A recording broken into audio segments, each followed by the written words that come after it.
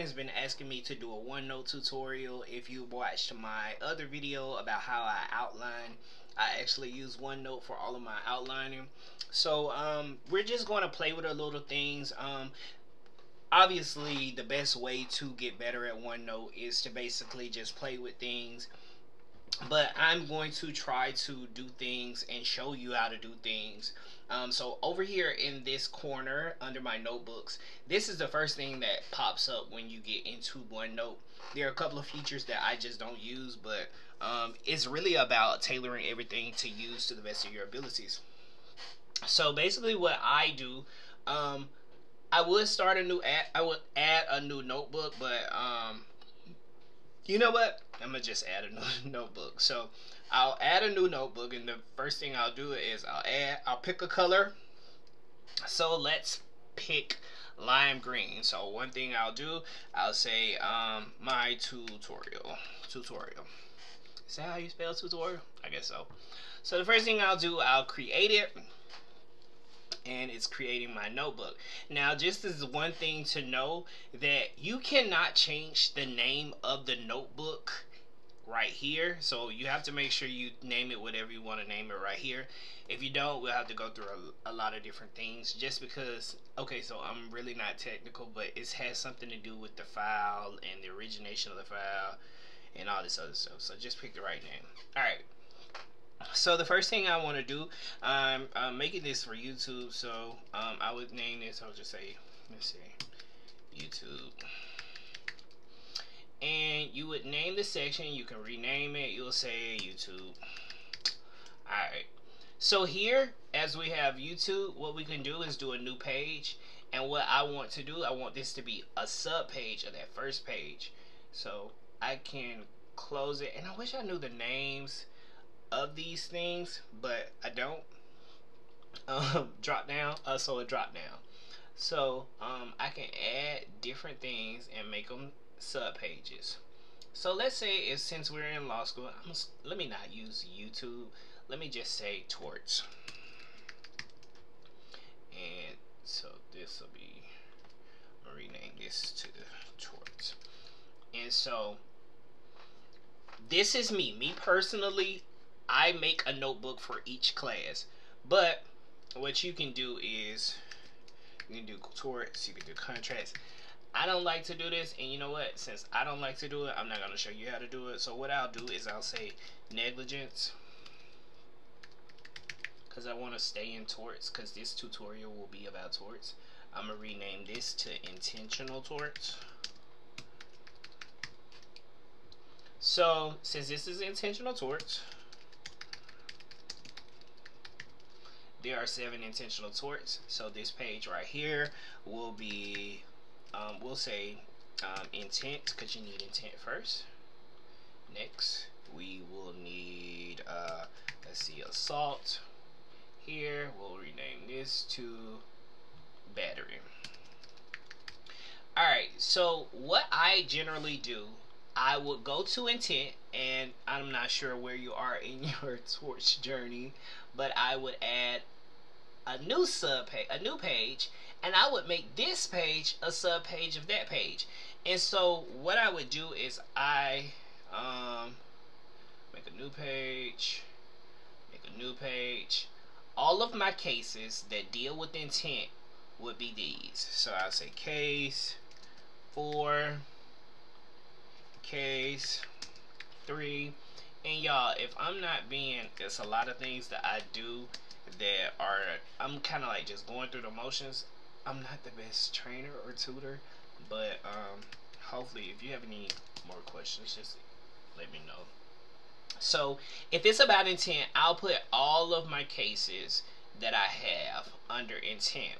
What I normally do is I'll do my all of my assignments during the week, and on the weekend I'll debrief. And the way I'll debrief is I'll take all these cases, one, two, three, four, and I will make a big old slide about everything. So what I'm going to do is I'm going to go and show you one of my, let's see if we take constitutional law. So, okay, this is a lot, but like this is my constitutional law.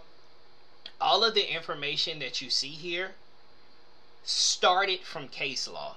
So I had like let's see, like under federal jurisdiction. Okay, standing right here. So I had standing and I had all of my cases under there, but on the weekends what I would do is everything needed to make this entire concept I would put here. So um so the great thing about OneNote, you can make things and tailor things to how you want to do it. So what I can do is I can highlight, I can make boxes, so I would insert. And a lot of these things come with like playing. So I would have to put, let's see, notes. Let's see, put notes. Now if you hit tab, it can make a grid. You hit tab, it'll make a grid. And then you can put things and make tables or whatever like that by hitting tab. So let's do that again. So I hit let's see if we say um yesterday yesterday. Tap.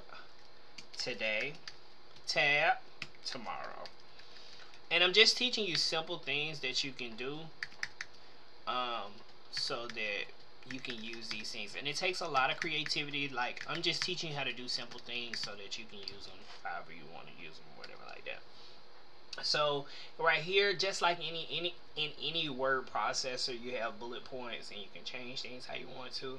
You have arrows um, you can also use printout so basically and a lot of this is trial and error. I learned all these things. Um, so printout would basically I could take a file. So let me just find a file here's my e-discovery. As a class I'm taking called e-discovery.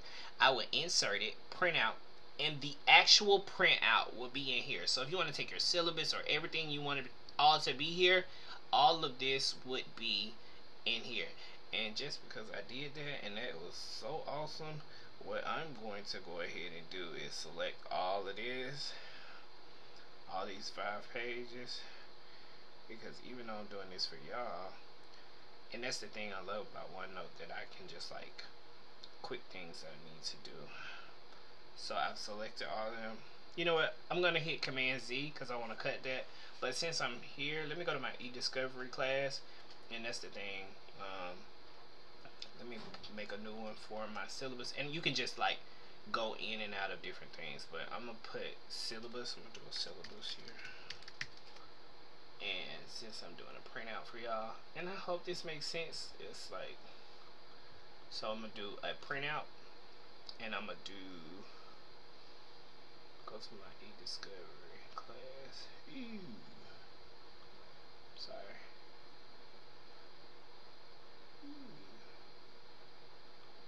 Okay so that didn't just work um you know this Alright, so let me try to do a printout. Okay, here we go. My printout of my syllabus. And that's everything right here. So that's all 10 pages. So everything is right here. But as y'all can see, everything I need, I just go straight into. And this is constitutional law from my second year of law school. So I pulled this up today because we're using this justiciability um, concept. We're using it in federal jurisdiction. But I was able to just pull that up. So basically, how you go in and out. You can open up notebook, but here, what I'm gonna do is close this notebook, and it's just gonna go to my like save files or whatever like that, and I can just do that. But like I said, a lot of different things. You have, um, you can pull up your, uh, you can pull it up on your iPad, and as you draw, it will come up here. I probably should have had my iPad ready and showed y'all how I could draw on my iPad and it would show up here. But this is not from my iPad. This is me just making it. But a lot of different things just take time. You just have to play with it. And I actually want to show y'all. Let's see. I'm going to open a notebook. What's a notebook that I believe I put a lot into? Let's go to my civil procedure. Procedure? Not that one. Basic civil procedure.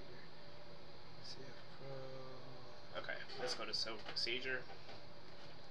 That way y'all can see some of the things I have and I can like tell you how I made those things. Um, I don't use the class notebook um, thing just because I don't.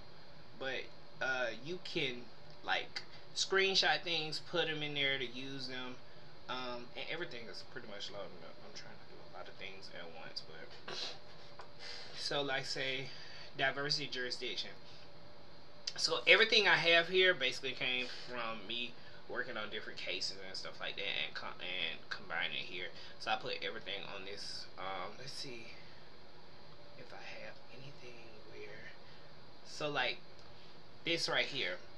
I made this because, and I put like little pictures and things to help me like recall. I'm a visual learner, so what you can do is you go to stickers and um, you go down and you have different stickers you can use.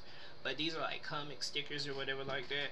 And like let's say um, like I'm like making something and I can just type in make something hit enter and it'll be right here. So there you go I like that. But I hit control Z control Z because um, that takes everything back. And those little check marks I did those on my iPad but these are just different things. Um this like to make this CNOF to make this little thing I just used a whole bunch of these circles. And it's all about like you know creativity. Um if you want um like sometimes if I'm writing something in my notes and I want to ask a teacher something like I'll say like ask about how to copy and paste. And what I'll do is I'll put make important and I always put it in blue. I don't know why I picked the color blue but when I put it in blue I know that's something I need to ask my professor about in class. But there are different things. Like I said the main thing that you have to remember with this is um, creativity. Oh and you can screenshot and put place different like slides and different things in your in your different things or whatever. I know I'm talking circles or whatever like that. Hopefully this helped someone. I went a little bit more into detail about how I use OneNote and how I try to use things. It's basically like a word processor so you have to use your creativity and navigate those things. Hopefully so I just started school um, today so I just have the classes that I'm in so I have not been able to um, oh wait quick little something. I took one of, I took the constitutional law information that I had I copied all of those files into my federal jurisdiction class because I believe I'm going to need some of those things. Um, I'm gonna need some of those things for this class. But this is like like these things right here like these little nuggets or whatever I was able to find that in um, stickers or whatever. Like it's just all about like looking through different things to make different things. But I hope this helps everyone, and um, yeah, uh, make sure to like, subscribe, and share, and hopefully this helps.